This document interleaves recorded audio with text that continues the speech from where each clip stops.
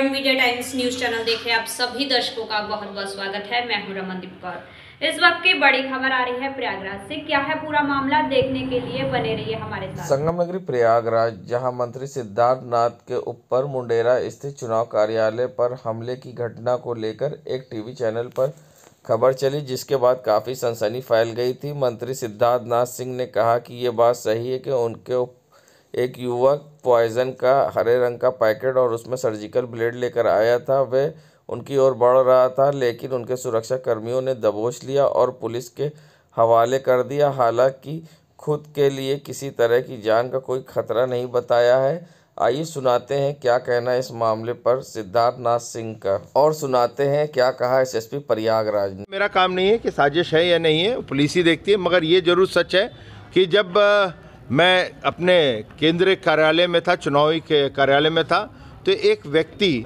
ने मेरे सामने एक बगल में ही था और उसने एक पैकेट निकाला जिसके ऊपर पॉइजन था हरा रंग का पैकेट था और उसके हाथ में एक छोटा सा चाकू भी था। तो सर्जिकल ब्लेड ही कह लीजिए वो वो था और जब मैंने उसको दोनों को देखा तो मैंने उसको हाथ पकड़ा और मेरे फिर सिक्योरिटी गार्ड्स ने भी उसको दबोचा। अब उसके बाद क्या हुआ मैं नहीं कह सकता मैं स्वयं इधर आया हूँ और पुलिस जो भी है वो ठीक ठाक जो समझेगी वो करेगी। आप मामलों के खिलाफ आपने कार्रवाई काफ़ी की दूसरी तरफ़ इस पूरे मामले पर एसएसपी प्रयागराज ने खंडन करते हुए बयान जारी कर कहा कि हमले की खबर गलत है और भ्रम फैलाने वाली है और हमला करने वाला शख्स हिमांशु दुबे को सिरफिरा बताया साथ ही कहा कि युवक खुद को मंत्री सिद्धार्थनाथ का कार्यकर्ता बता रहा है और उन्हें उसका काम नहीं किया था। इसलिए वे आत्महत्या करने के लिए सल्फास की गोली लेकर वहाँ मंत्री जी के पास पहुँचा था। और क्या कुछ कहा एसएसपी प्रयागराज ने? पक्ष के लोग भी अब हमलावर हुए हैं, वो भी हम आपको सुनाते हैं। पहले सुनाते हैं क्या कहा एसएसपी प्रयागराज ने। प्रकरण थाना धूमनगंज, जनपद प्रयागराज का है। इसमें कतिपय मीडिया चैनलों, खासतौर से आज तक ने एक पट्टी चलाई जिसमें श्री सिद्धार्थनाथ सिंह जी पे हमले की बात कही गई, जो कि पूरी तरह गलत और भ्रम फैलाने वाली खबर है। मौके पे आकर मेरे द्वारा जाँच की गई तो पाया गया कि एक 26 वर्षीय सिरफिरा युवक हिमांशु दुबे, जो ज़िला जौनपुर का रहने वाला है, वो अपने आप को उन्हीं का कार्यकर्ता बता रहा है और यह सल्फास की गोलियाँ लेकर वहाँ पहुँच गया था और बोल रहा था कि आपने मेरा काम नहीं किया है, इसलिए मैं आत्महत्या कर लूँगा। इस तरह की चीज़ें वहाँ फैला रहा था। तत्काल ही उसे पुलिस द्वारा हिरासत में लेकर उससे पूछताछ की जा रही है। किसी भी प्रकार का कोई हमला नहीं हुआ है।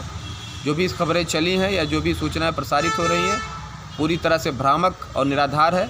सभी को अपील की जा रही है कि इस तरह से भ्रामक और निराधार खबरें न चलाएँ, अन्यथा जाँच करके आपके ऊपर वैधानिक कार्रवाई की जाएगी। अब जाँच का विषय है कि आखिर पूरा मामला क्या है? अब कौन सच कह रहा है और कौन झूठ? ये जाँच का विषय है, मगर दूसरी तरफ़ अब राजनीति गर्मा गई है, जहाँ शहर पश्चिमी के प्रत्याशी व संघ कार्यकर्ता देवेंद्र प्रताप सिंह ने मंत्री सिद्धार्थनाथ के बयान पर निशाना साधा है और टीआरपी के लिए पूरा खेल बताया है और हिमांशु दुबे के समर्थन में कहा कि वे खुद मंत्री सिद्धार्थनाथ से परेशान था, वे आत्महत्या करने वहाँ पहुँचा था। आइए सुनाते हैं क्या कुछ कहा है। वहीं देवेंद्र प्रताप सिंह के साथ सपा नेता ने भी हमला बोला। आइए पहले दिखाते हैं क्या कुछ कहा देवेंद्र प्रताप सिंह ने। देखिए, या तो सिद्धार्थनाथ सिंह झूठ बोल रहे हैं, या तो एसएसपी प्रयागराज झूठ बोल रहे हैं। सिद्धार्थनाथ सिंह के पास झूठ बोलने के लिए बहुत से कारण हो सकते हैं। एसएसपी प्रयागराज के पास झूठ बोलने का कोई कारण नहीं हो सकता। हिमांशु दुबे की आईडी को मैंने आज देखा, पूरा नीचे से ऊपर तक देखा, लगातार वो सिद्धार्थनाथ सिंह का विरोध कर रहा है। लगातार वो लिख रहा है कि मेरी जान को खतरा अगर होगा तो मंत्री सिद्धार्थनाथ सिंह करेंगे। और ऐसे खतरे के बावजूद भी अगर वो वहाँ पर पहुँच रहा है और कुछ कर रहा है तो सिद्धार्थनाथ सिंह के के ऊपर हमला करने के लिए इतनी भीड़ में नहीं जाएगा। और जैसा कि वीडियो मैंने, जो ओरिजिनल वीडियो है, उसको देखा है तो उसमें वो अपने मुँह में कुछ डालने का प्रयास कर रहा है। ऐसे में अगर मंत्री जी ये कह रहे हैं तो बिल्कुल झूठ बोल रहे हैं और झूठ बोलकर जो है पब्लिक को और जो है पार्टी को गुमराह कर रहे हैं? बिल्कुल, इसका राजनीतिक लाभ लेने चाहते हैं, वो लगातार जो है झूठ पे झूठ बोल रहे हैं और इस झूठ को खुलासा करने के लिए ही हिमांशु दुबे बार बार अपने प्रयास कर रहा है, जिसके पीछे उसको लखनऊ में धरने पे बैठना पड़ा। इनके प्रयाग, प्रयागराज स्थित जो है आवास और कार्यालय के सामने उसको लात मारते हुए ये प्रयागराज की पब्लिक ने देखा है। अगर लात मारने की ज़रूरत पड़ी है तो क्यों पड़ी है? ये सिद्धार्थनाथ को उत्तर देना चाहिए। देवेंद्र प्रताप सिंह।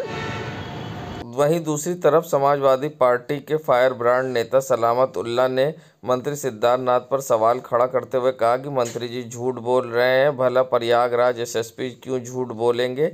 मंत्री जी सारी चीज़ें टीआरपी के लिए कर रहे हैं क्या कुछ कहा है सपा नेता सलामत उल्ला ने? आइए वो भी सुनाते हैं आपको। देखिए ये एक षडयंत्र है और इसमें जो व्यक्ति सिद्धार्थनाथ से स्वयं खुद परेशान था सुसाइड करने के लिए आया और काफ़ी दिनों से वो उनका विरोध कर रहा था।